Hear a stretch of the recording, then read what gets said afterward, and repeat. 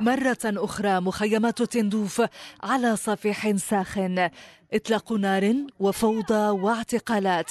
ممارسات لا إنسانية تفضح من جديد الوضع الحقوقي بهذه المخيمات التي صارت موطنا لتكريس الممارسات الحاطة من الكرامة والانتهاكات الحقوقية التي يتعرض لها أساسا الشباب والأطفال والنساء. يا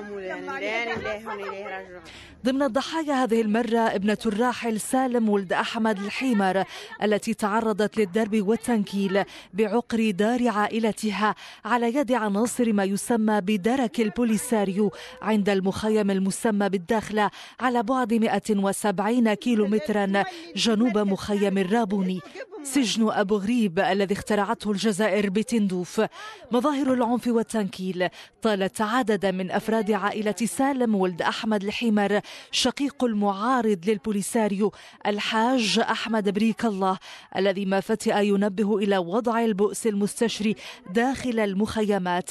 استباحة منزل العائلة جاء في أعقاب لجوء شاب إليه هربا من دوريات درك البوليساريو التي لحقته لخرقه حظر التجول. الجاثم بقوة على أنفاس سكان المخيمات.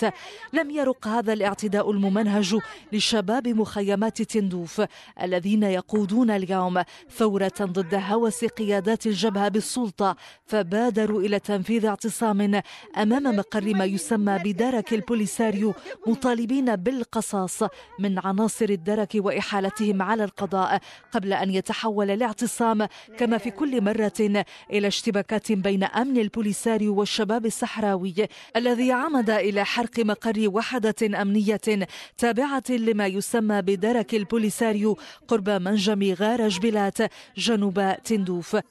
هذا الشباب الصحراوي الثائر على أوضاع البؤس بمخيمات العار حيث لا تزال سائدة عمليات القتل خارج نطاق القضاء والخطف والإخفاء القسري والاحتجاز التعسفي والتعذيب والترهيب والمعاملة المسيئة والمنافية لكرامة وحقوق الإنسان.